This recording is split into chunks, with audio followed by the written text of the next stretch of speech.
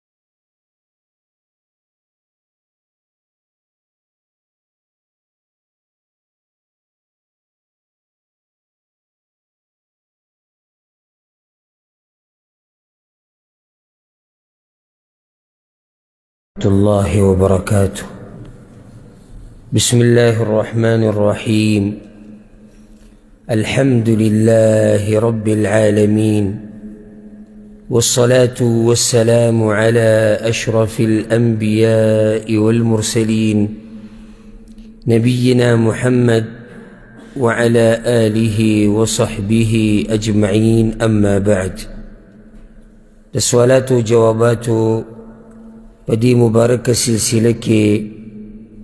نن زمونږ یو سل اتشتم نشست او ناسته ده د الله سبحانه وتعالی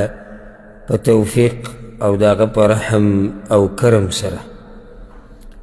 په دې نشست کې اولنی سوال یو ورور کړی دی چې بعض خلک دا وایي چې د هغه استاذ ګویی نه قبلیږي چې کوم استاذ ماشومانانو ته سبق ښیي نو دا خبره به صحیح او که نه او که صحیح نو ولې نه قبلیږي دوی دا ګویی الجواب د دې خبرې هیڅ اصل او نسل نشته هیڅ بنیاد یې نشته چې دا بعض خلک دا وایي چې ماشومانانو چې کوم استاذي د هغه ګواهي به وي نه قبلېږي ولې هلکه وایي ځکه چې دی ټول عمر ماشومانانو سره تیر کړي هغوی ته سبقونه ښیي او دا دماغ د ده هغه هغه شان نه وي نو ذکر د ګواهي نه قبلېږي دا بې بنیاده خبره ده بلکې ماشومانانو ته تعلیم ورکول او هغوی ته سبق خو دا خو عزت عزت دی او دا شرف دی او دغه سړی عزتمند دی او چې څوک کوم چاته خیر ښیي نو پرون موږ دا حدیث ذکر کړی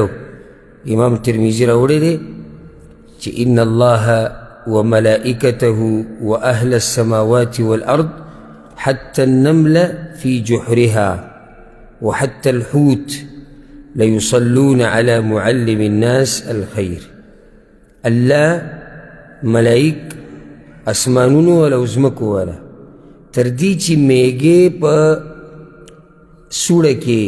او مهې په دریاب کې د هغه چا دپاره دعاګانې او بخښنې غواړي څوک چې خلکو ته خیر ښیي نو د استاد چې کوم وړو ته سبق ښیي دی خلکو ته خیر ښیي او امام ابن حجر الهیتمی ابن حجر الهیتمی د هغه نه د تپوس شوی دی وی بس خلک دا خبره کوي چې دا معلم الصبیان چې د ماشومانانو د معلم او استاذ د ده ګواهي وی نه قبلېږي ځکه چې وی د ده اتیا پیرې عقل د د یوې زرانه عقل ته نه رسي نو دا خبره صحیح ده او که نه نو هغه له جواب ورکړی چې دا خبره خو موږ نه چېرته اورېدلې ده نه په کتابونو کې لیدلې ده او ما ته داسې یو پالتون ته کې خبره ښکاري هسې پالتو خبره ده بلکې هغه دا ویلي دي وي څومره استادان موږ لیدلي دي څومره استادان چې هغه وړو ته سبقونه ښیي او د هغوی مثال خلک ذکر کوي په دیندارۍ کې په هوښیارتوب کې په درنوالي کې په سړیتوب کې نو دا خبره داسې بې اصله ده ها هغه له دا خبره کړې ده وی که څوک چېرته داسې ووایي چې د هغه استاد ګواهي نه قبلېږي چې هغه مثال کې جهل پې ښکاري د جهل نښې یا فاسق فاجري یا لیونتوب پکې دغه جدا مسله ده خو نور داسې عامه خبره کول چې استاد چې وړو ته سبق ښیي د ده ګواهي نه قبلېږي ځکه چې د ټول عمر د وړو سره تېر کړی وړو سره تېر کړو نو څه چېرې شو لیونی شو دې سره څوک لیونی کېږي خو نه او دا مور چې دا مور چې ټول عمر د دې بچو سره ناسته یو او د هغوی دا چغې چغارې او دا وراني او د مور لیونی شوي کومه یې لیونی شوې ده د بچو د ورانو د لاسه استاد خو لا بیا هم څه وښي او مور څو کاله پورې هغه د هر بچي سره هغې دا صبر کړی پلار هم دقې شان دی ولې کور کې پلار نه او دې بچو سره لګیایي د دوی تربیت کوي دوی ته سړیتوب ښي دوی ته عقل ښي دوی ته دین ښي نو دا خبره هسې بې بنیاده خبره ده استاذ هغه هم داسې دی لکه څنګه چې عام مسلمانان دي ګوایي به هله قبلېږي چې کله دی یعنی واضحه فسق او فجور او دا پکې نه یا نور داسې تهمت پې نه چې د هغې نه پاکي که وایي قبلېږي د هغې نه بعد دا یو رو سوال کړی دی چې د یو کس سره د هغه لور په کور کې اوسیږي او دا پلار راولګي دا لور ووایي او دومره ووایي چې د هغې بدن ته نقصان ورسوي او هغه بیا اسپتال ته پکې لاړی شي د هغې د مخ سزې وران شي د هغې د لاسه یو د دې پلار دا کار څنګه دی دا وهل پلار له دې سي جایز دی او که نه او دویم چې بیا ورته یو مولوي صاحب دا خبره کړې ده چې په دغه پلار باندې په شریعت کې هیڅ یعنی ملامتیا نشته وجه وي دا ده چې حدیث کې راځي چې زوی او مال د هغه د دواړو د پلار دي او د الله نه بعد که دا جنۍ د هلک په دې دنیا کې دي نو دا د پلار د لاسه دي دغه شان د دې پلار په باره کې چاته شکایت کول دا موی ناروا دي نو دا جنۍ به صبر کوي د دې مولوي صاحب دا خبره صحیح ده که نه الجواب اولنۍ خبره چې دې کس چې دا لور والي ده په دې طریقې سره دا یو ناروا کار دی او ښکاره ظلم دی شریعت تا ته دا نه دي ویلي چې ستا بچی دی نو سرمن ترې وباسې بعض دا وایي ګوره دې خبرې ته سوچ وکړي وایي زما بچی دی نو نو څه مطلب شو ستا بچی دی یعنې تا نه تپوس نه کېږي د باره کې ستا بچی دی نو بس چې هر څه کوې وایي زما بچی دی خلکو پکې څه کار دی خلکو پکې کار که نشته خو د الله پکې کار دی دا د الله مخلوق دی دا د الله مخلوق دی او په دې بچی باندې ستا دومره حق نشته څومره چې د الله حق دی دا مې یاد کړه او ستا پتا هم د الله د حق په شان حق د بل چا نشته ته به د هغه الله احکامو ته غاړه ږدي زما بچی دی هسې موږ منو ستا بچی دی شریعت تاله څه حدودو کې اجازت درکړی دی چې ته بچی ووه ادب ورته وښایه سړیتوب ورته وښایه خو دا خو تا ته نه دي ویلي چې ته راولږه د هغه بدن له نقصان ورکړه او په دې طریقې سره و چې هغه هسپتال ته لاړ شي او په دې طریقې سره و چې هغه ژوند خراب شي معذوره شي کوم ځای کې شریعت ته اجازت ورکړي بلکې حدیث کې دا راځي امام بخاري امام مسلم دا حدیث راوړی دی وی چې هغه حدیث کې دی فتنه الرجل فی اهله وماله وولده وجاره تكفرها الصلاة والصوم والصدقة والأمر والنهي سړی ته چې کومه فتنه رسي د بچو په باره کې او فتنې نه مراد دلته دی چې کوم تکلیف ورکوي بچو ته او دی چې کم تکلیف ورکی خزی ته او گاونډی ته او خپلوانو ته پیغمبر صلی الله علیه وسلم وی د دې کفاره د مونز روجه صدقه دې سره الله د ګناه معاف کوي د حدیث ما دې دپاره ووې چې ګوره دا بچی تنګول د دې دپاره کفارې ته ضرورت دی او کفاره د سره لپاره پکاري د ګناه لپاره یې کنه نو واضح شو چې د بچو د تکلیف ورکول ګناه ده بله خبره ورسره مې یاده کړه دا اله کفاره ده دا مونځ او روژه او صدقه کله چې دا ګناه وړی ځکه چې واړه ګناهونه په دې عباداتو سره صفا کیږي که چېرته غټه ګناه یې په کبایرو کې او دومره تکلیف وله ورکړي چې هغه کبیره ګناه ته رسي نو بیا خو دی رانږدې کېږي په دې باندې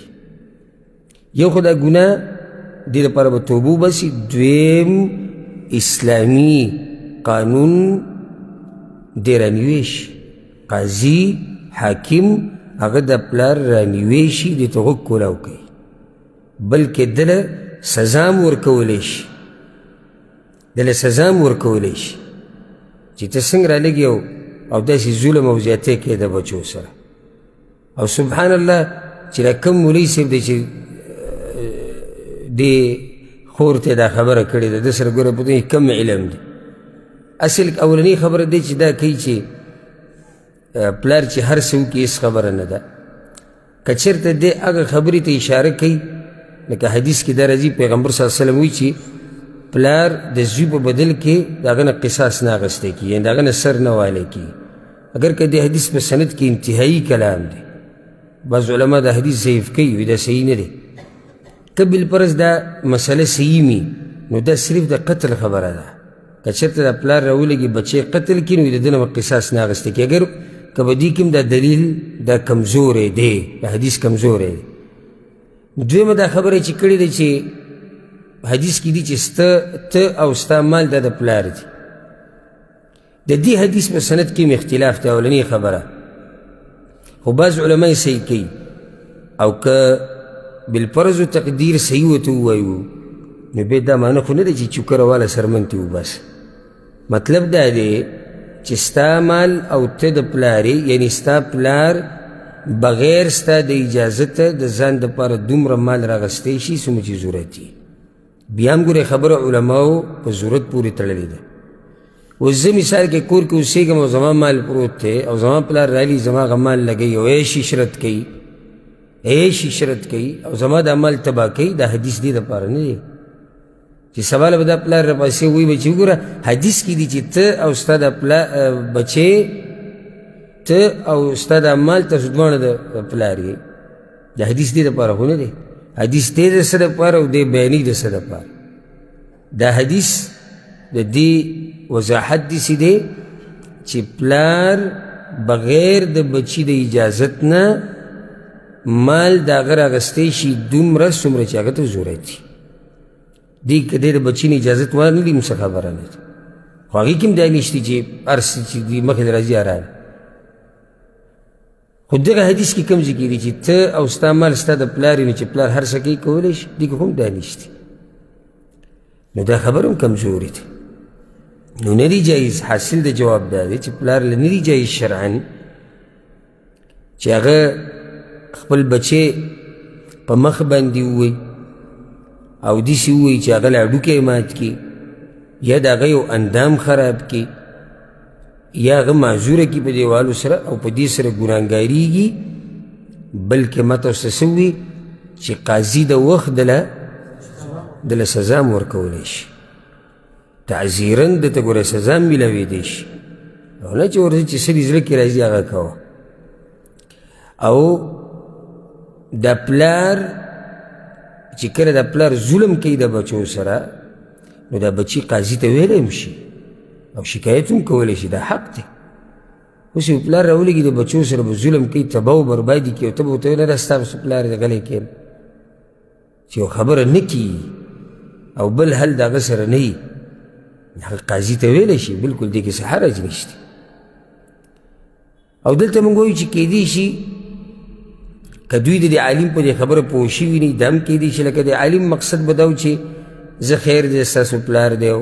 معافي کوي او هېڅ خبره نه که په دې دغه یې ویلي نو بیا خو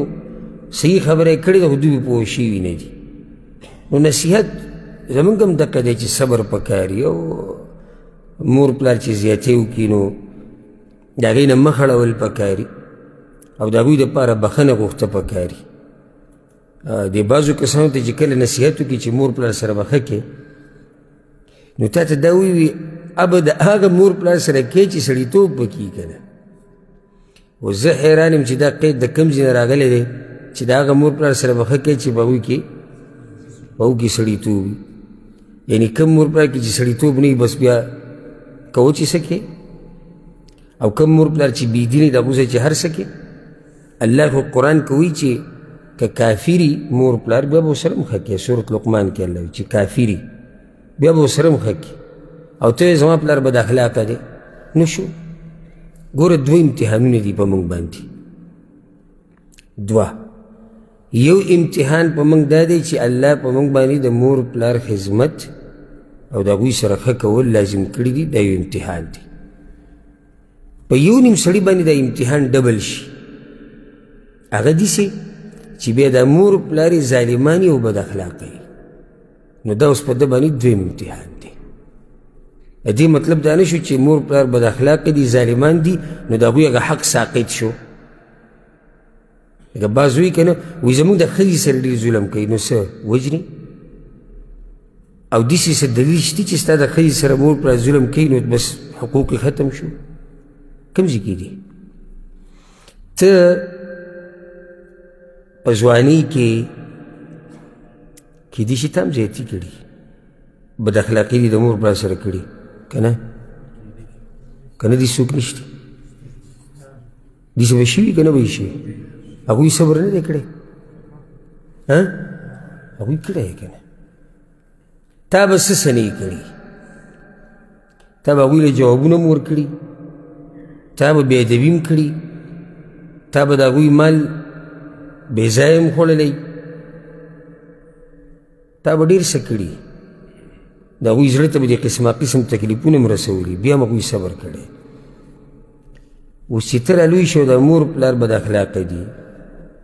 او یا ظالمان دي نو ته څه کوې پرېږدي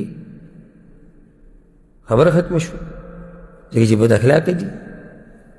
او بیا ستا دا بچي به تا سره څه کوي ته خو ماله دا لیکل هم راکړه که نه ته به څنګه ته به د بچو سره څنګه او تا سره به څه کوي بیا او دا خو واضح حدیث دی او قانون دی قانون پیغمبر صلی الله علیه وسلم وی د خپل مور پلار سره ښه کوئ ستاسو بچي به تاسو سره ښه کوي دا قانون دی په دې سینې ولیکې دي چې په دې سینا قانون دوه خبرې پیغمبر کړي دي د مور پلار سره ښه کوئ ستاسو بچي به تاسو سره ښه کوي تاسو صفا اوسئ ستاسو بیبیانې به پاکي دا قانون دی چې سړی په خپله زیناکاري فحاشي غلط کارونه کوي د دې زنانه هم پاکه دي چې پاتې کېږي او چې په خپله صفا وي الله به ستا د کور والا حفاظت کوي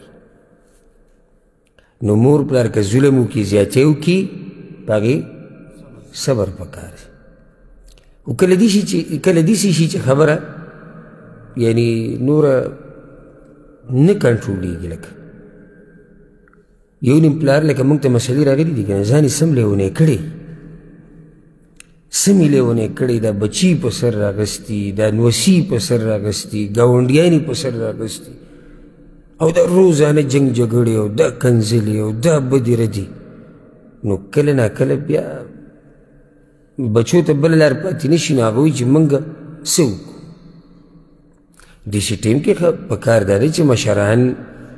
که خبرې یې خبرولی شي چې کله دا خبره د صبر د حدودو نه وځي که مشران خبرې خبرولی شي یو قاضي یو عالم هغه ته شکایت کوي کولی شي نو الغرض دی کس چې دا کم کار کړی دی نو دا کار یې څه دی صحیح دی کار یې غلط دی والله اعلم ها دا یو ورو سوال کړی دی چې زه د غریبانانو سره ښه کوم او وخت په وخت صدقې او د الله په لار کې مال لګو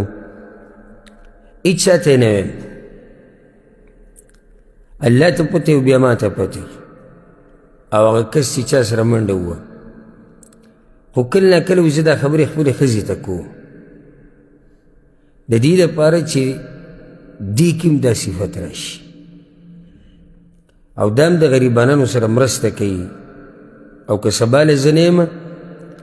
نو چې دا په دې لار روان نو الله مله اجر راکوي خو شک راته دا راځي چې داسې نه د دې د لاسه زما دا عمل خراب نه شي نو د دې کار ګنجایش په شریعت کې شتي او که نه الجواب دا خبره خو واضحه ده چې څومره یو عمل پټي نو دومره اخلاص ته نږدې څومره چې یو عمل پټي نو دومره اخلاص ته نږدې او څومره چې عمل پټي دومره د ریاکارۍ نه محفوظ او څومره چې یو عمل پټي نو دومره د ښودنې نه د اورونې نه د دې هر څه نه پاکي امام بخاری باب یخو دی په خپل کتاب کې باب صدقه السر باب دی په بیان د هغه صدقه کې چې هغه په پټه ورکول کی بیا هغه حدیث راوړی دی د هغې نه ټوټه راغستې ده هغه اووه کسان به د قیامت په ورځ اووه قسمه خلک د عرش په سوري کې ولاړ یو پکې څوک دی ورجل تصدق بصدقه فاخفاها حتى لا تعلم شماله ما صنعت يمينه او هغه سړی چې صدقه ورکوي نو دومره پټه ورکوي چې د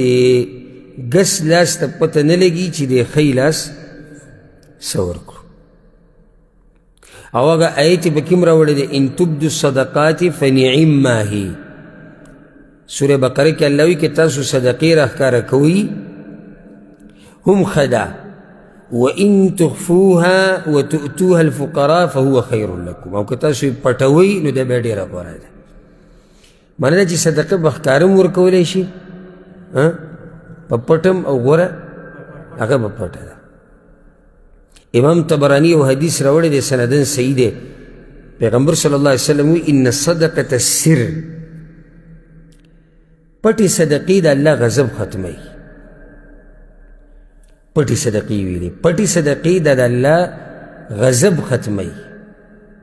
نو غوره دا دی چې انسان صدقې ورکوي نو هغه په پټه ورکړي الا که چېرته په دې راښکاره کولو کې یو شرعي مصلحتي نو بیا صحیح دی لکه امام ابن کثیر رحم الله خپل تفسیر کې دا خبره کړې ده متقه آیت لاندې وی دې آیت نه دا خبره راووته چې صدقه په پټه ورکول غوره دي د دې نه چې سړی په ښکاره ورکړي ځکه چې دا د ریاکاري نه سړی لرې ساتي الا دا چې که چېرته مصلحت پکې بیا صحیح ده مصلحت څه دی لکه اوس یو سړی دی عالم دی امام دی امام معنی نه خلک یې تابعداري کوي نو دی لازم به کله نه کله بعض کارونه ښکاره کوي به ولې چې خلک یې ویني هغوی په دې نقش قدم روان شي خو په شرط دی چې د سړي په ځان باندې یقیني چې شیطان را باندې نه زورور کېږي که چېرته په ځان یقین نه نو بیا نه خو چې په ځان یقیني چې ریاکاري پکې نه راځي او نیت مې برابر دی او دی یو عمل کله نه کله راښکاره کړي دی دپاره چې خلک یې ویني او د خلکو ته رایاد شي دا عمل او دا خلک پرې عمل وکړي نو بیا په دې کې څه حرج هغه نشته نو دا رور چې خپلې ښځې ته دا خبرې کوي دې دپاره چې دام صدقې د الله په لار کې ورکوي او مال لګي د الله په لار کې نو دا کار څه دی هر وخت صحیح دی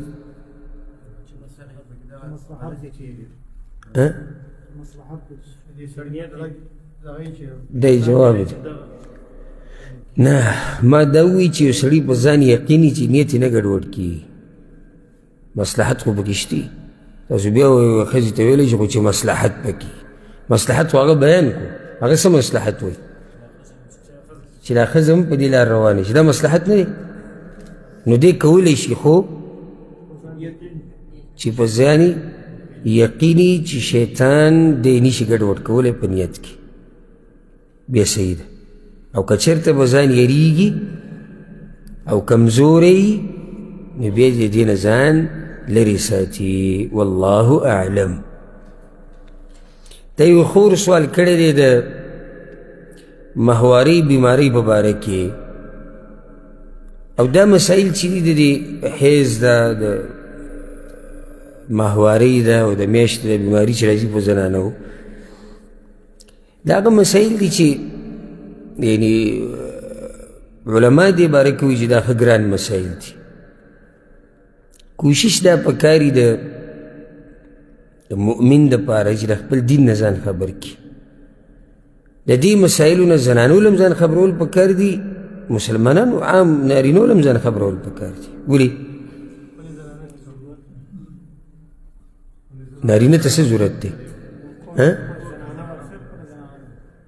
خپلو بیبیانو ته به یې بس دغه ضرورت دی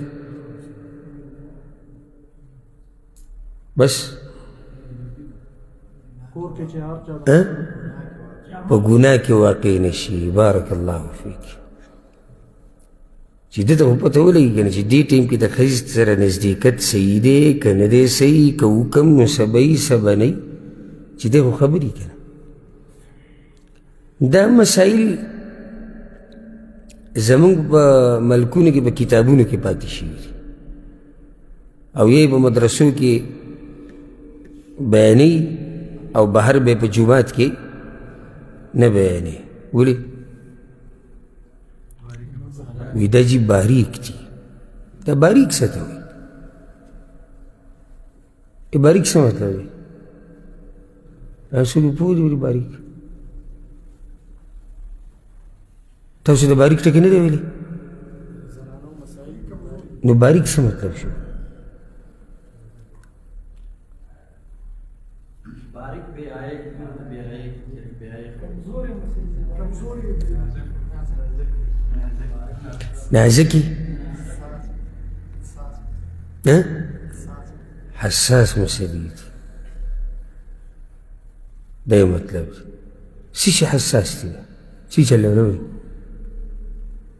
او په دې کور کې چې دا ډیش پروت دی دا حساس نه دی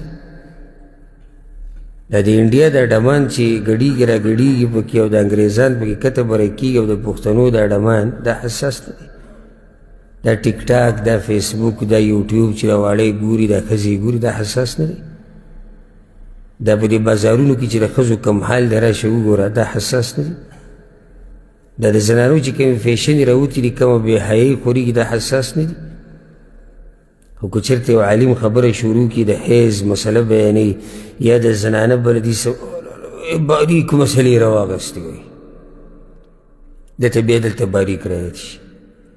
دا زما په مخکې دي څوک وایي چې دا باریک مسلې دي زه سم جواب ورکړو خو چې ویل تقریبا اکثر مولیان هم دغه کلیوالو ته ناسي که نه د کلي چې کوم خلک هغوی زمونږ مولا دی زمونږ مولا څه مطلب دی بس زمونږ زمونږ په لاس کې وي چې هغوی درې څه وګوري مولوي صاحب بیا مسله بدلوي اکثر خو ته معلوم هم دی ځکه چې دا راته یو فایده ذکر کړ هر محراب کې ودرېدونکی ګوره عالم نه وي دا خو جومات دی کله به قاري مخکې کېږي کله به نیمچه قاري مخکې کېږي کله به هسې بناوټي قاري مخکې کېږي کله به یو عام سړی مخکې کېږي نو ته به ټولو ته څه عالم به ورته عالم چا ته وایي چې په قرآن او حدیث پوه هر محراب کې ودرېدونکی په قرآن او حدیث باندې پوه نه دا بدګماني نه ده حقیقت دی دا وړه وړه جوماتونه چی که نه او یا دا وړه وړه قاریان چی په دې کلیو کې دا کوره مولیان نه وي دوی غریبانو ته هم اکثر یو څو صورتونه یې د قاري هم پوره نه وي یو څو صورتونه ورته یادي او بس دغه د جمعې خطبه اکثر هغه هم د کتاب نه کوي او یا که د کتاب نه نه کوي بس یو دوه درې خبرې یادې کړي په مخه وایي هغه دومره ویلي چې هغه ورته سمه یاده شوي او دا خبره زه د سلفي او د غیر سلفي هم نه کوم دا زه ټولو باره کې وایم نه دا هم نه چې یو سړي باندې نوم د سلفیت پروت وي دی به مولای ګټ خبره د علم ده که سلفي دی او که غیر سلفي دی چې علم یې نه کړی که نه او د علماو سره نه پاتې شوی او بیا د علم په دې میدان کې وروسته بیا نه پاتې شوی دی په مسلو نه پوهېږي دا مسایل چې کوم دي دا زموږ د خویندې اکثر زموږ نه تپوس کوي دا ګورې نه ورځي زموږ له ډېرو له نه ورځي او دا پیچیده مسایل دي ګران مسایل دي یعنې ښه تکړه تکړه علما چې کله فقهي مسایل بیانوي او د کتاب یا باب الحیض او یا نفاس او دې ته راورسي نو دا ډېر ګران مسایل دي نو دغه غریب به پې څه پوه شي نو د هغه سره ښکلې خبره بیا څه ده د جوی حساس مسلې دي مزه شو مولوي صاحب پکې د بیان نه څه شو خلاص شو دلیل څه دی باریک دی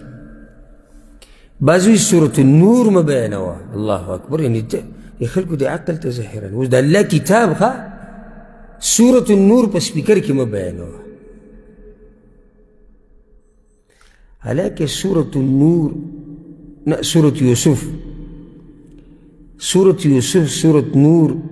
او دا سورت احزاب بعض آیتونه سورت النساء زه ښیم چې دا خو سم بیان شي چې پته ولګي د شرعي پړدې د حیا د عزت د ستو نو بس دا مه بیانوه حیران به شي د الله نه خو څوک زیات غیرتي نشته کېږي بیا په الله پسې د پیغمبر نه زیات څوک غیرتي شته نشته چې هغوی به یې نه کړي دي نو موږ څوک یو بلکې او د سعودي عرب د علما دي مستقل کتابونه لیکلي د زنانو په مسایلو باندې مستقل خور کتابونه د زنانو مسایل خو هره مسله راغستي او په هغې دلایل ورسره خبرې ورته ټول اسانه کړي سوالات جوابات کیږي ټول خلک یې اوري په ټي وي په ریډو ښځو ته ټلیفون کوي دغه شان ډایرکټ یې تپوس کوي پوه دي د هغوی هغه زنانه هم پوه دي او د دوی هغه علما هم پوه دي نو زموږ خو مولیانو دغه حال دی ما بیان کو اوس دې ښځې له به دا طاقت څوک ورکوي چې تپوس وکړي هغوی د خاوند هم نشي کولی خاوند ته هم دا خبرې نشي کولی او که د خاوند نه وکړي نو خاوند غریب پوهېږي هغه زه له سره خبر شي هغه دغه وایي چې پراټه پخو سار او دا کور څه پکو زما د روڼو زما د مور پلار خدمت کوه بس داګه دغه پکار دي نور داګه مخکې دې سره کار نشته چې دا په دین خبره ده که نه ده لا پیژني نه پیژني پیغمبر پیژني خو چې کور سپایي او پراټې مزداري او کور کې د خپلوانو خدمت کوي دی مسلو د پاره د مشکات چې زمونږ کوم درسونه دي د بلوغ المرام د عمدة الاحکام هغې ته رجوع په کار د طهارت په مسایلو کې هلته ما تفصیلا دا مسلې بیان کړي دي دې خور دا سوال کړی دی ما باندې چې کومه بیماري راځي مخکې به یې په میاشت کې اووه ورځې وه اوس ګډه وډه شوه کله درې کله څلوري بیا په هغې کې مشکل دا دی چې کله وینه او کله زیړوالی او خړوالی او کله داسې شي چې میاشت پوره تېره شي او د بیماری په دې ورځو کې صرف زیړوالی او او خړوالی بیماری وینه نه وي سوال دا دی کوم وخت کې چې دا زیړوالی او خړوالی وي دې وخت کې به مونځ کوم او که نه روژې به نیسم او که نه او دویم سوال دا دی چې دا کله چې وینې او کله خړوالی زیړوالی وي دا خړوالی زیړوالی به صفا د صفا حالت حسابیږي که نه دا به هم په حیض کې حسابیږي الجواب حیض د وینه خو معروف وینه د زنانې پېژني هر چې د دې وینې سره د زیړوالی او خړوالی راځي نو د دې احوال دي که دا مسله مختصر یادوي او یاد هم کړه که نه نو ډېرې مسلې به دې سره حل کېدی شي ډېرې مسلې او که زنانو ته دا مسله دي چې وښوولی شوه که نه نو د هغوی ژوند به په سکون شي ځکه زنانو ته دا مسله ډېره زیاته راځي مختصر دا مسله دي چې یاده کوي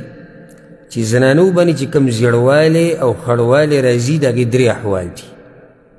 درې اقسام دي یو یو زنانه باندې د میاشتې د بیماری راله وینه ده وینه چې ودرېده نو په وینه پسې زیړوالی او خړوالی شروع شو یا داسې ووایه په اوله کې زیړوالی او خړوالی او بیا پسې وینه راله الغرض دا خړوالی او زیړوالی د دې وینې سره څه دی یو ځای دی یا ترې مخکې دی یا ترې وروسته دی خو متصل دی نو دا به حیز شمارلی کېږي دا به څه شمارلی کېږي حیز یعنې موز نشي کولی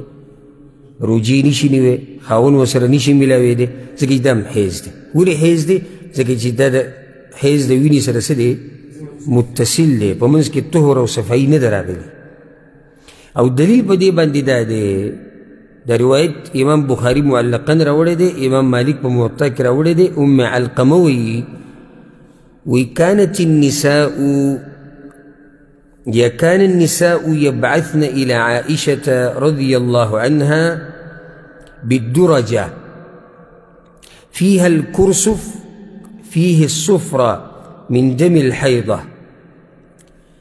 وی عایشه رضی الله عنها لبا زنانو لوښی را لیږو داسې وړکونته کې لوښی و په هغې کې به مالوچ پراته و او په دې مالوچو باندې به زنانه ځان وچ کړی و هغه زیړوالی به پې لګېدلی و تپوس به یې کوو د عایشې نه چې دې باره کې ته څه وې ګوره هغوی سره دین دومره غم او موږ که هر قسمه بې حیایي دې کېږي هغه دې کېږي خو چې د دین مسله راشي نو بیا دې بعضو ته د خپل نام نهاد پښتو را یادې شي او یا هغه غیرت چې څوک یې غیرت وله منیم نه خو هغه درته بیا را یاد شي دغه ځي کې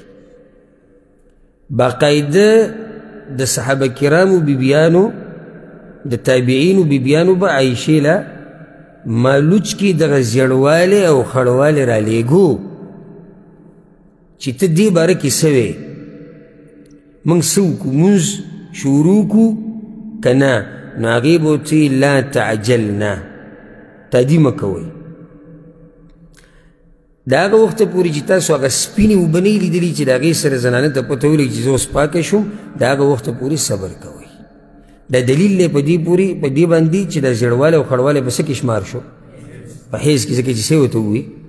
وي صبر کوئ صبر کوي معنی د څه نه یعنې د مانځه نه د روجو نه خاون سره د ملاقات نه لا صبر کوئ ها چې کله تاسو ته پته ولګېده او زنانه ته په خپله پته لګي چې زه پاکه شو کله به سپینې اوبه راشي او کله وچه شي نو بیا زنانه ته پته ولګي چې زه صفا شوم هغې ته په خپله پته لګي خو د هغه وخته پورې هغه ورته وایي چې صبر به کوئ نو دا اولنی حال شو دویم حال دا دی یو زنانه د پاګی باندې بیماری رااله او بیا پاکه شو زنانه باندې بیماری رااله او بیا څه شوه پاکه شو بالکل یقیني پاکه شو د دې طهر او صفایي نه بعد پې بیا زړوالی او خړوالی راغی نو دا به هیڅ هم نه شمارلی کېږي دې وخت کې به دا مونځ هم کوي روژې به هم نیسي او خاون سره ملاقات هم کولی شي او پاګی کې باندې دلیل سره امام ابو داود حدیث راوړی د ام عطیه رضی الله عنها وی كنا لا نعد الصفر والكدر بعد الطهر شيئا چې کله به منګ وی پاکی شو ام عطیه وی نو د پاکوالی نه بعد زړوالی او خړوالی له منګ اعتبار نه ورکاو دریم حال دا دی یعنی د خور دا سوال کړی دی چې کله نا کله په ما بلکل وینه رانه شي خو د حیض په ورځو کې زیړوالی او خړوالی راځي راجح قول دلته دا دی چې د حیض په ورځو کې چې د زیړوالی او خړوالی راځي اګر که وینه ورسره نه وي دا هم حیض شمارلی کېږي ځکه چې دا ورځي دا ورځي د څه دي ورځي د حیض دي او دا د جمهور العلماء قول دی بلکې بعضو خو لا په دې باندې اجماع را نقل کړی د علما نو یو زنانه د په هغې باندې ټوله میاشت وینه رانله خو د هغې چې کومې ورځې دي هغې ته معلومې دي په هغه ورځو کې زیړوالی راغی او خړوالی ځکه زیړوالی او خړوالی به څه حسابېږي دا به حیض حسابېږي والله اعلم ها دا یو ورور سوال کړی دی چې آیا بېهوشۍ سره اودس ماتېږي او که نه په دې مسله باندې د امت د علماو اجماع ده یعنی د ټولو علماو اتفاقی خبره ده چې په بېهوشۍ سره اودس ماتېږي اگر که لږه معمولي بېهوشي په سړي راشي که نه د ده اودس ماتېږي ولې اودس ماتېږي د سوچ خبره ده کنه شعور ختم شي د په ځان نه دی پوه چې زه په څه حال کې او ګوره د عقل ختمېده په لیونتوب سره په بیوشی سره په هغه نشې سره چې عقل ختمی هغه دوایی چې سړی نشه کوي په دې ټولو سره اودس ماتېږي ګورې چې کله عقل زایل شي ولې ځکه چې عقل چې زوال العقل چې کله راشي که هغه لیونتوب دی بېهوشي ده او هر څه چې د سړی په ځان باندې بیا نه پوهېږي او که دا ډېر او که دا لږي امام ابن المنذر رحمه الله وی د علماو اجماع ده په دې باندې چې څوک بېهوش شي نو دی به لازم بیا اودس کړي ځکه چې اودس یې مات شو یو سړی دی اوده شو خوب هم دوه قسم یو خو هغه خوب دی چې دی د خوشه د حالاتو نه خبرېږي نو دې کې اودس نه ماتېږي اسی جټکه وټکه وای کې یو د سماتی یو هغه خوب دی چې دی پکې جوور ورشي او د سماتی کنه ها د ځکه ما کې سو ګونو چې نه ماتي چې جوور ودی شو د سي کپه ناس ته ودی کپه ولاړ ودی کپه پملاس ته ځکه چې بعض علما پکې دا فرق کوي وي د ولاړې هغه نه ماتېږي او د ناستې هغه نه ماتېږي او د ملا ستې ماتېږي داسې کمزورې خبرې دي صحیح خبره دا چې خوب هغه جوور خوب چې د خوا او شاته ته څه پته نه لګي دې سره اودس ماتېږي که ده ته ولاړې او که ناستې که پروت او که هر څه اوس دا اوده چې دی ده ته چې ته اواز وکړي دی راپاسېږي نه راپاسېږي یو سړی چې وده وي په اواز راپاسي که نه راپاسي دا بېهوشه پرې راپاسي نه راپاسي نو چې د هغه اودس مات شو د خوب د لاسه د ده دا څنګه ماتېږي د بېهوشۍ د لاسه او دی د هغه نه زیات ځور تللی اخو لا بیا هم یعنې چې تی راپاسې هغه راپاسي او دا چې کوم بېهوشه شوی دی دی خو راپاسي وي نه چې کله د ده نه بېهوشي لاړه دی او په خپله راپاسي نو حاصل د جواب څه شو بېهوشۍ سره اودس ماتېږي ها د یوې خور سوال کړی دی چې دا بعض زنانه د باڼه لګوي مصنوعي او نوکان لګوي دا غټ غټ نوکونه میلاویږي په دې بازارونو کې اوږده اوږده دا لګوي دا جایز دی او که نه اولنی خبره دا یادول په کار دی چې دا اکثر زنانه چې نن سبا دا ناروا کارونه کوي نو دی چلونه یې زده کړي د ډمانو نه دي او د غیر مسلمونه او دا د ټیویانو او د انټرنیټ او د ډیش برکت دی چې زنانه دا چلونه کوي زه دې خویندو ته دا ویل غواړم چې ښایست اصل ښایست چې په هغې سره زنانه ښایسته ښکاري هغه دینداري ده او که یو زنانه دا روزي برابر کړي او باڼه اوږده اوږده ولګوي او نوکان ورسره غټ ولګوي که نه ورب الکعبه که پرې ښایسته شي چې څو پورې پکې دینداري دی او یو زنانه ښایسته کیږي په دې سره چې کله دا د خپل خاوند خیال ساتي او د خاوند د حقوقو خیال ساتي دا په دې سره ښایسته کیږي په دې چلونو ملونو سره زنانه نه ښایسته کېږي او دا د درنو زنانو کار هم نه دی او دا د دیندارو زنانو کار هم نه دی نو دا باڼه لګول دې دپاره چې اوږده ښکاري دا حرام دي ځکه چې پیغمبر صلی وسلم د وصل شعر نه منع کړي د ویښته په ویښتو پورې لګول او دویم دا نوکان چې دي دې کې تشبه دی په په غیر مسلمو پورې ځکه چې د نوکان غټ غټ دغه ډمانې لګوي او د هغوی هغه زنانې لګوي او داسې نیکه زنانه نوکان غټ نه پرېږدي که نه زما دا خبره به غلطه وي هسې دینداره ښځې نوکان غټ پرېږدي او څه ضرورت دی ورته یعنې دیندارې ښځې ته څه ضرورت دی چې هغه نوکان اوږدوي په دې څه کوي نو دا نوکان اوږدول دا د ډمانو یو نښه جوړه شوې ده او د بېدینو خلکو نو دا جعلي نوکان لګول دا خو د هغوی سره ځان یو شان کوو لو سبحان الله شریعت تا ته وایي نو کان څه که واړه که ته پسې ځې د مارکیټ نه پسې نور رالې ولګې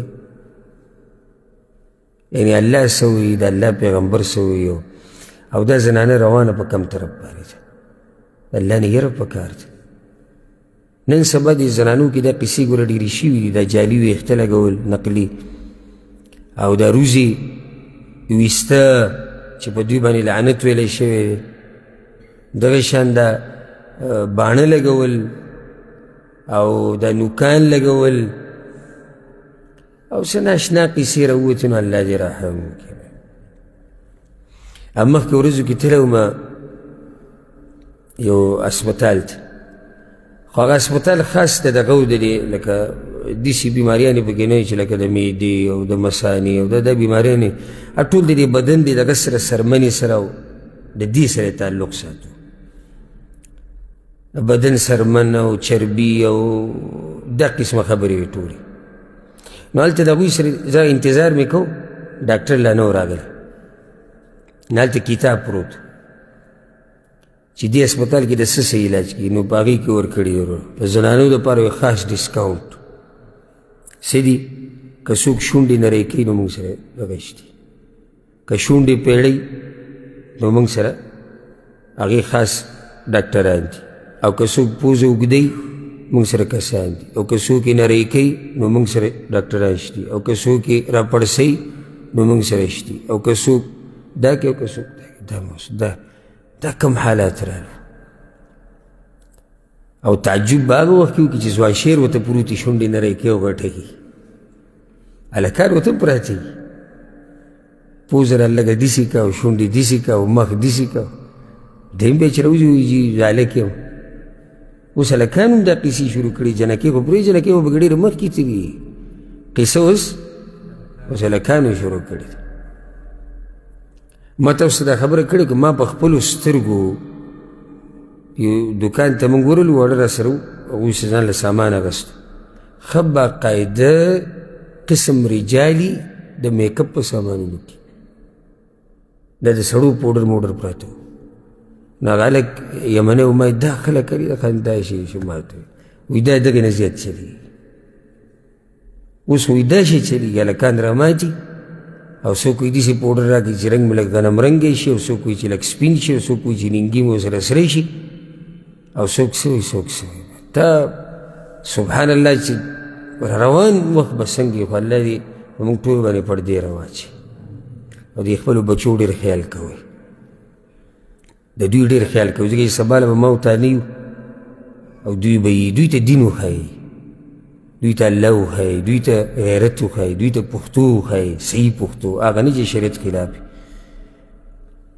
او چې دوی ښکلی د سړیتوب ژوند تېر کړي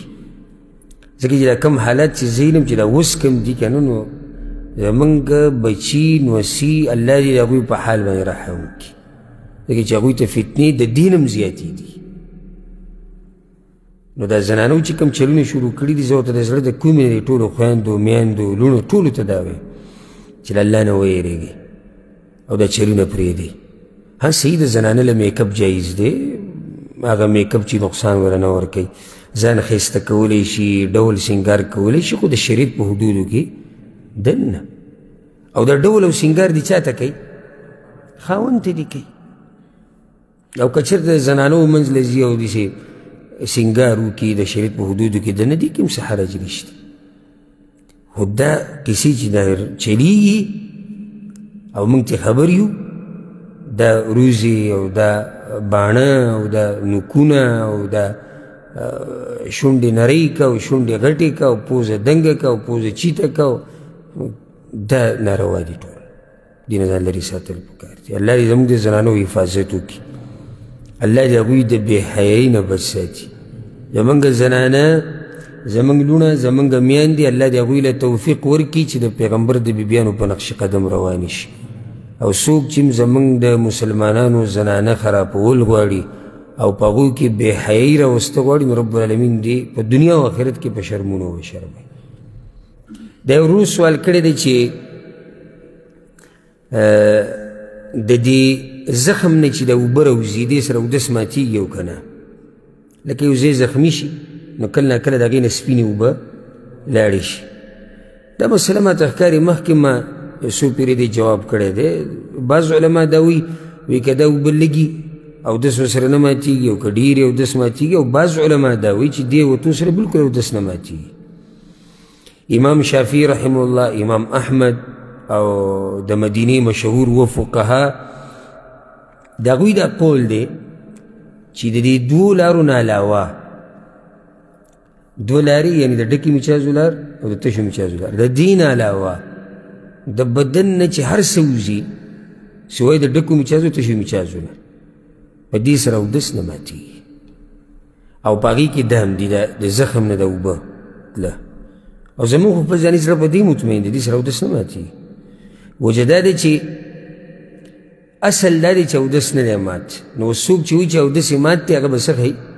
هغه به دلیل ښیي او په دې باندې صحیح واضح دلیل نشتی چې د زخم د اوبو د وتو سره اودس ماتېږي بل دا چې یعنی موږ د قرآن او حدیث تابعدار یو موږ د هغې نه اخوا دېخوا کېدی نه شو د الله په بندګانو باندې موږ څنګه یو داسې کار لازم کړو چې هغه لازم نه دی د الله د بندګانو اودس ته څنګه ماتې او شریعت وایي چې د اودس مات نه دی نو په دې باندې داسې دلیل نشته صحیح نو ځکه مضبوطه خبره هم دکه ده چې د زخم نه چې دا کومې اوبه ځي دې سره اودس نه ماتېږي دی ورو سوال کړی دی چې د جمعې د جمعې په ورځ د قبرونو زیارت له تله په دې چې دا ورځ د چوټي دا به جایز او که نه الجواب د قبرونو زیارت کول دا مشروع دي سنت طریقه ده په شرط د دې چې د آخرت تر یادولو په نیت لاړ شي او مړو دپاره دعاګانې وغواړي مړو دپاره د مړو نه نه دا سنت طریقه ده خو پیغمبر صلی الله علیه وسلم د مړو د زیارت یعنی د قبرونو د زیارت لپاره خاص ورځ هغه نه ده ښوولې او دې باره کې چې کوم روایت راغلی خصوصا د جمعې د ورځې په باره کې هغه کمزوري روایت دي نو ته به د قبرونو د زیارت دا به نه د جمعې سره خاص کې نه د اختر سره نه د روژې سره دې سره به دا نه خاص کې خو دا روز چې زمونږ چوټي به دغه ورځې ځکه مونږ ځو نو دې کې هېڅ حرج نشته ځکه چې دی په دې نیت خو نه ځي چې د جمعې د ورځې ځان له فضیلت دی او یې جو خاص په دې ورځ زیارت کېږي او بیا نه کېږي داسې خو د هغه عقیدې نشته نو په داسې حالاتو کې تله دا جایز دی د ورو سوال کړی دی چې یو سړی په منځه کې ولاړي او په خېټه کې داسې ورته محسوسه شي چې لکه دا ګیس پکې تاویږي راتاویږي او قلار پکې کیږي او اواز پکې د دې سره اودس ماتیږي او که نه جواب د دې خبرې هغه پیغمبر صلی الله علیه وسلم کړی په صحیح مسلم کې دا حدیث دی د ابو هریره رضی الله عنه پیغمبر صلی الله علیه وسلم اذا وجد احدکم فی بطنه شیئا په تاسو کې چې څوک څه محسوس کړي چې وایي خېټه کې څه دي فاشکل علیه اخرج منه شي ام لا اوس دې په اشکال کې شو چې د ده نه به څه تلي او که نه فلا یخرجن من المسجد نو دې د جومات نه نه وځي حتی یسمع صوتا او یجد ریحه څو پورې چې د اواز نه یې اورېدلی او یا پې بین نه یې لګېدلی بل حدیث چې یو کس داسې راغی پیغمبر صلی الله علیه وسلم خوا دا دا په صحیح بخاري صحیح مسلم کې دی عبدالله ابن زید وایي وی شکی الى النبي صلی الله علیه وسلم الرجل يخيل الیه انه یجد الشیء فی صلاته یا فی الصلاه یا رسول الله یو سړی دی چې هغه لکه په منځ کې په دې وسوسه کې پریوزي چې یاره سیچل وشو په منځ کې پیغمبر صلی الله علیه وسلم لا ینصرف صرف د شک د لاسه به دی نه وځي لمونځ به نه پرېږدي حتی یسمع صوتا او یجد ریحا چې څو پورې د باندې بین نه لګېدلی یا اواز یې نه اورېدلی معنی دا شوه چې څو پورې تا ته یقیني پته نه لګېدلي چې زما اودس مات دی نو د هغه وخته پورې به ته هسې په وسوسو باندې مونځ نه ماتې دا مطلب دی دا نه لازم چې لکه اوس یو سړی دی بین پې ونه لګېد او اواز پې هم ونه لګېد خو په ځان پوه شو یقیني چې اودس یې مات شو نو د دا اودس وس دی مات دی د دې حدیث مطلب دا دی چې یعنی خبره یقیني کا دی مطلب دی خبره یقیني کا او شریعت الحمدلله دا یو اهمه قاعده ده د شریعت چې یقین دا په شک سره نه ختمیږي اوس د ده د اودس یقیني دی که نه دی دا چې په منځي کې ولاړ اودس یقیني دی که شکي دی یقیني دی او د خېټه کې چې د اواز وشو او کیدی شي اودس مات شوی یا نه وي دا شکي ده که نه ده نو ته څنګه یقین ختمې په شک باندې یقین ختمیږي په څه سره په یقین سره یقین په شک نه ختمېږي نو اوس کېدی شي سړی په منځي کې ولاړ او خېټه کې یا په کولمو کې معده کې ګیس ګرځي را ګرځي او د هغې د لاسه دې څه اواز واوري یا څه محسوس کړي کله داسې شي چې هسې پرې خېټه زور راشي نو صرف دا نه چې ته محسوسه کړي چې یاره خېټه کې دننه ګیس ګرځي هغه به زما اودس مات شو یا چې په خېټه زور محسوس کړه او بس زما اودس مات شو نه نه دې سره اودس نه ماتېږي بلکې دا راته ووایو هغه پلیتوالی چې وتی نه د بدن نه که نه د وتو نه مخکې هغې له څه اعتبار نشته لکه اوس دا ډکې میچا دي یو سړی دی په کلمو کې شتي که نه دې له اعتبار شتي نشته اعتبار به کله دی له چې کله وځي نو که په خېټه کې دننه ګیس ګرځي را ګرځي یا هوا ګرځي را ګرځي او د هغې د لاسه دی اواز اوري یا دړي په خېټه راځي نو دې له اعتبار شتي ولا نشته ځکه چې دا لا راوتی نه دی والله اعلم ها دا یو رو سوال کړی دی هغه سوال دا دی چې پیغمبر صلی الله علیه وسلم د پاره چې کله منبر جوړ شو نو وی چې هغه به د دې نه مخکې د کجوري په یو تنه باندې خطبه کوله نو آیا دا قصه صحیح ده چې هغه بیا په جړا شو پیغمبر صلی الله علیه وسلم د هغه خواله راغی او بعض خلک دا وایي چې هغه د کجوري دا ویښ د کجوري د ونې دا ویښ او تنه د بیا جنت ته تللی ده هلته نهلی شوی ده او دا څنګه داسې چل شوی الجواب حدیث کې راځي په صحیح بخاری کې سبحان الله پیغمبر صلی الله علیه وسلم باره کې عبدالله بن عمر وایي چې پیغمبر صلی الله علیه وسلم به مخکې دا خطبه کوله په څه باندې د کجوري په دغه تنه باندې ویښ باندې وی کله چې منبر جوړ کړی شو پیغمبر صلی الله علیه وسلم هغه منبر ته واوړېد فحن الجذع نو دغه کجوري د تنه چې ده د ویښ دا په جړا شو نو پیغمبر صلی الله علیه وسلم راغی فمسح یده علی لاسونه یې په له پاسه راښکو دي چې غلی شي او صحیح بخاری کې دا روایت دی د جابر رضی الله عنه پای کې دا دي چې صحابه کرام وی فسمعنا لذلك الجذع صوتا دا بل واور یعنی جړا دي سينو چې صرف پیغمبر پوه شي بلکې صحابه کرام وی چې منګه جړا اورېدلې و خصي جړا اورېدلې و او دا د پیغمبر صلی الله علیه وسلم معجزه ده سبحان الله جمادات لرګې کاڼې او ونه د کسره محبت کې باغه پسې جاړي او دا باز په اسلام کې پیدا شوي او چېرته به داسې په ډېرو داسې وخت نه راغلی چې پیغمبرو ته رایت شوي او په ژړا شي نو وی پیغمبر صلی الله علیه وسلم راغی فوضع یده علیها لاس پکې خودو فسکتت فسکنت نو هغه تنه د کجوري هغه څه شوه هغه په آرام شو غلی شو یو روایت کې راځي امام احمد راوړی دی وی ان هذا بکا لما فقد من الذکر وی دې په دې جاړي ځکه چې هغه د دین هغه خبرې به اورېدو یا هغه وسپینه لګي او دا بله یعنی لرګې او جمادات په دین پسې جاړي د دین په مسایلو پسې او په موږ کې ډېر داسې دي چې هغه د خپل ژوند نه یو څو مینټه هغه نشي ورکولی او ډیر پکې دي سي دي که چیرته دا مسلې دي په بندي کړي نو څه پروا په هم نشتی دلته اوس ګوره دا لرګی په جړا کیږي په هغه نصیحتونو پسې چې ده به اورېدو نو بعض هغه چې کوم شریکي د علماو سره درسونه کې په دوی کې بعض دي سي کړي ته وایي چې درس نشتی یا هغه شیخ اوس نور درسونه پرېښودو یا دلته نشي دی خوشحاله شي چې زه ختم شو حدیث کې د رضی پیغمبر صلی الله علیه وسلم د دې د کجوري د تنې چې او دې باره کې یو روایت کې داسې راځي امام نسایي راوړی وایي داسې چغې والي د کجوري د تنې لکه د اوښي نه چې بچی وتښتي او هغه دا چغې وایي داسې چغې والي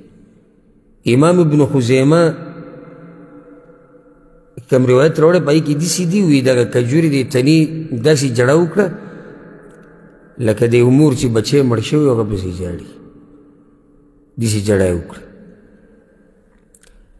او امام دارمی په روایت کې وسره دا دي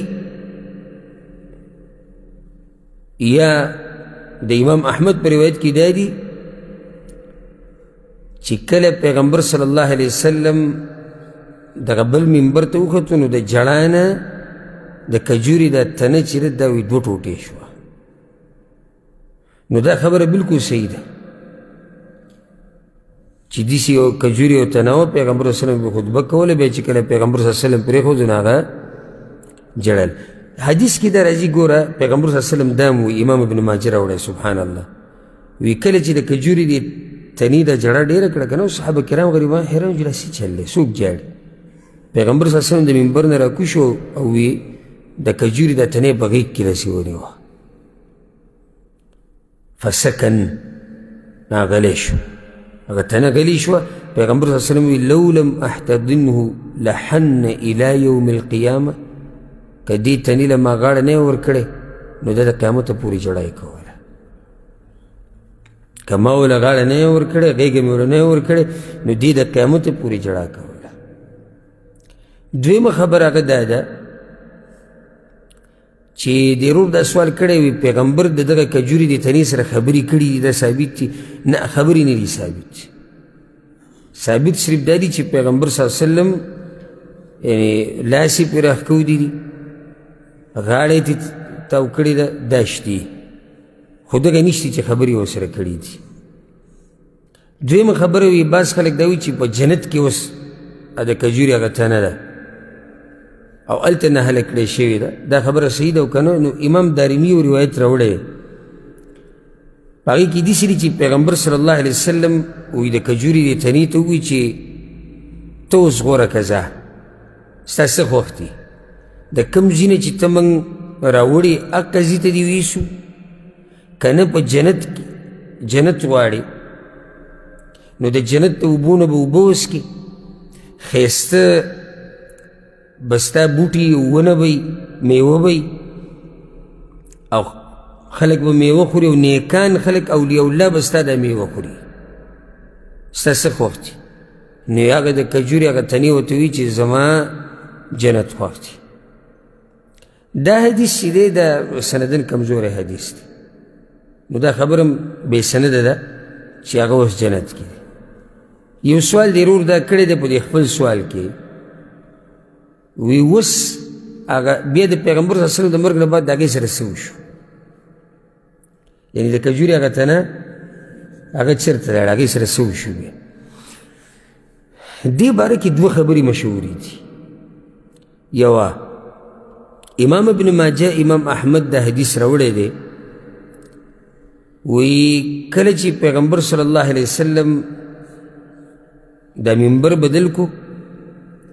نو دا د کجوري د تنه چې د جومات په یو ګوټ کې بیا پرته وه فلما هدم المسجد وغیر بیا چې کله د جومات وران کړی شو د غټولو دپاره نو ابی بن کعب رضی الله عنه دغه کجوري د تنه ځان سره کور ته وړی وه وي دا به ما سره یي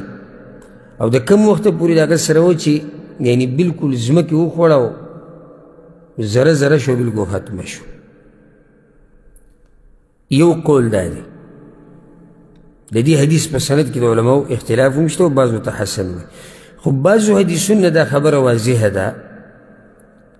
لکه امام دارمی امام ابن ابي شیبه دا روایتونه راوړي دي او دا په سند کې د هغه اولین مضبوط دي هغه دا چې پیغمبر صلی الله علیه وسلم بیا امر کړو چې دا د کجوري د تنوي سې او سجي کې خخا کوي ایسه ځای وله وکنی او بس خخه کی چې خبره ختمه شي والله اعلم